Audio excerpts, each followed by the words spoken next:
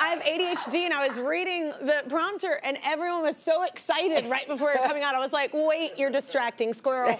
I was like, "Yeah." Then, uh, do you get that everywhere you go? People No, just no. applauding. yeah. Oh, only with you. Only Okay, with you. I like our show. I'm show so then, happy yes. to be back. I know. Oh, we just had. Chelsea here? She Yeah. told me she had the best time. Yeah, Oh, I love God. her so much. Oh. She's so cool. She did tell me though that her kids have been putting on shows for you. My kids put on shows for me. all you the love time. it. All the time. Yeah. Yes. I mean, we have a nine-year-old uh, granddaughter, seven and four-year-old grandsons, Yeah. and they're so different, but they all love to kind of bring us in to their plays and their Yeah. stories. Entertain. And, oh my gosh. the- I have a nine and seven year old as well. So well, so you know exactly. Yeah. And and the four-year-old, his idea of a play is to start talking and never stop. And, and Yeah. then the bad guys. The bad guys met more bad guys, and then they met the good guys. And the good guys, they beat up the bad guy. I mean, you know, it goes on and on, and I'm sitting This there. is one of my children. And the best part is when they finish, they'll both be like, you know what, we can do it better. And I'm like, okay. and then we watch it again. It's amazing. It's, it is so wonderful, Yeah. though. I mean, you want to It's see so cool to that see the light up. that energy and Yeah. and the excitement that they get on their faces when they want to share something with you. And so I I love when they come out. We we live an hour north of the city, and they live with us during COVID. Yeah. So that That's was a time. cool. Oh, it was the only good thing about that Yeah, really terrible family time. period. It was so nice, Kelly. And Yeah. so that we did that all day long. I mean, it was like.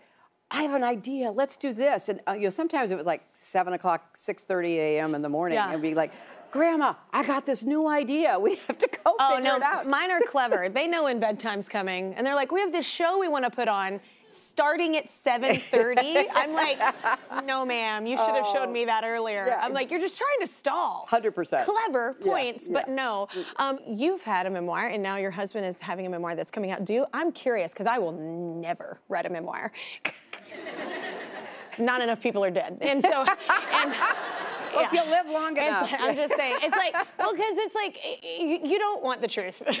you know, sometimes you don't. And and so I it just must be, do you go over it with each other of like Oh, yeah. this is what I've put in there? Yeah, because I mean, we we started a conversation literally 50 years ago, and it just keeps going and going and going. And Yeah. so, when he uh, was writing this memoir, which is about his life after the White House, um, I would read a draft and and talk to him about it, and he would ask me questions. And the same with anything I write, and it's great because you get you do get honest feedback. Yeah. It, it, it's rare to get really honest feedback, but you know we give each other uh, you know very good feedback. Oh, you gotta have those Yeah, people in your yeah, life. you do. Or even to be like, well, that's clever selective memory. That's not how that happened. Yeah. But you know that But happened. people truly believe. People they do. believe it. Yeah. And you know, when I wrote my memoir, Living History, I had a great researcher who would help me, and I and we did a lot of interviewing. And I would say, well, and then I did this, and then I did that, and we had this meeting and all that.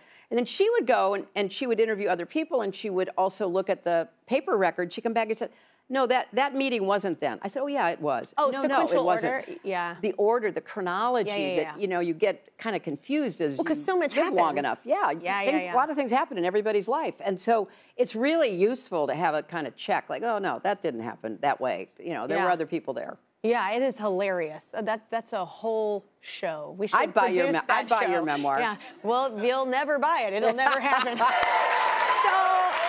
I love this. You wrote an article recently about loneliness affecting democracy. So explain what you mean by that. You know, there's just a lot of evidence now that people um, are lonelier than ever, and part of it is coming out of COVID. I think there's been a big spike in loneliness.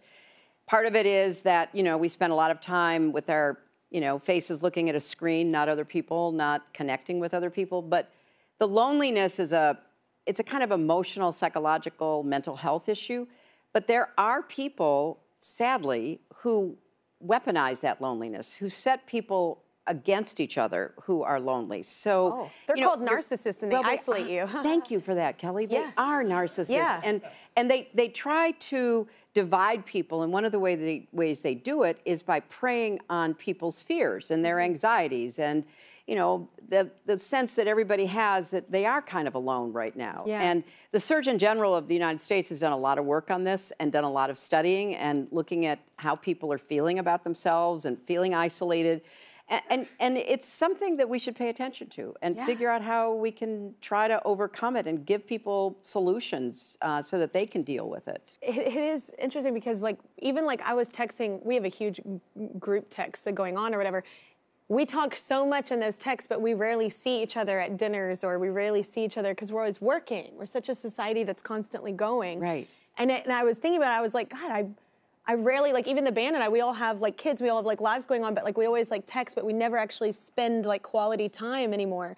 And I think that that does make you lonely. It does. Yeah, It, do- I- I mean, it does. And you know, as, as important as it is to be the best parent you can be, you, you can't allow yourself to get socially isolated as a parent. And Yeah. we have to make more time. And I try to do that. And you should try to do that. Carving out time is is hard. Yeah, Yeah. And, you know, It's, there's nothing like as well. friends, and especially you know your girlfriends. I have friends that I've had since I was you know in elementary school. Yeah. and they're the ones who say, "Oh, come on, get over yourself." you know, Yeah. really. Build a bridge, walk across it, Yeah, ma'am. Yeah. come on, you can Yeah. do this. Yeah, exactly. You you actually went to Wellesley, which is an all girls college. I actually that's pretty okay. Yay, Yes. Wellesley.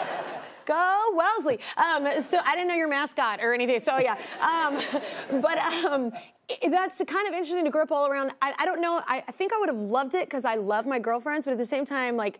It would have been a wonderful thing, but at the same time, like dating must have been hard for Oh. that too. Yeah, because I mean, it's like, Yeah. w- Yeah. hello. But, you know, here's the- I mean, unless, unless you're into women, I guess. But yeah. but, but you know, I went to a really large public high school, and it was kind of a relief to be at an all-women's college for those four years because we only really dated on the weekends. Yeah. And you know, you didn't really have to worry about boys you were interested in or that you thought Th- were those cute. pressures were taken away. Yeah, they were taken away. Yeah. And I mean, we, you know, we had fun on the weekends. We had, you know, we had curfews. We had to be in really early.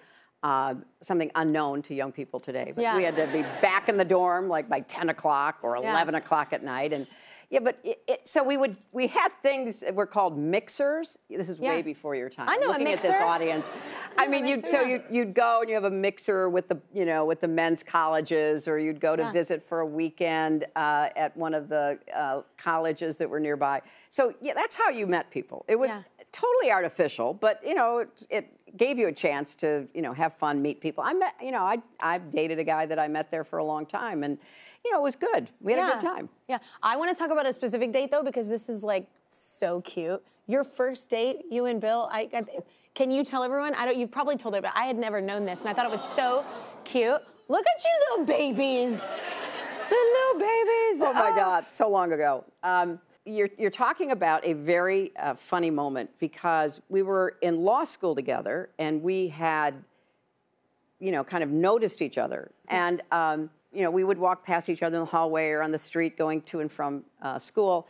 And then one day we were in the library and I was at one end at a table studying, he was at another. And you know, every time I would look up, he'd be looking at me. So I finally, you know, I thought this is ridiculous. I don't know who this guy is. And so I got up and I went and I said, if you're going to keep looking at me and I'm going to keep looking back, we should at least know each other's names. First move. I love that you're in the first move. That's so sexy and bold. Yeah. I love it. And then, yeah. like, like two days later, we had we were in the same class together, but he never came to class, so I didn't know he was in that class. but he showed up for the last class, and as we were walking out the door, he goes, "Where are you going?" I said, "Well, I'm going to go register for classes for next year." So he followed me down to the, you know, the registrar's office, and I was standing in line, and he was chatting. We were chatting. And we get up to the registrar's office, and she she looks up from the desk and she sees Bill. She goes, "What are you doing here? You already registered." He goes, "Oh well, yeah, I was just with her." And so I registered, and then we went for a long walk. And our first date was really a long walk, and we walked in front of the museum in New Haven where we were going to school.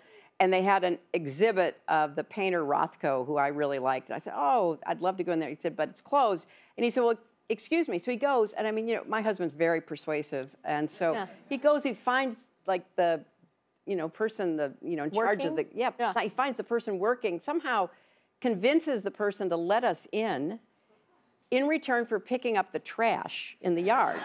So it was a fair trade. We picked Yeah. up the trash, we went to the museum, and then we went to a diner and had a hamburger. You that was private first date at a museum. That's sexy. Yeah. Come on. It was great. I yes. mean, yeah. So. I love that story. oh, it sounds like a movie that's not real, but it is for you. Congratulations. Um,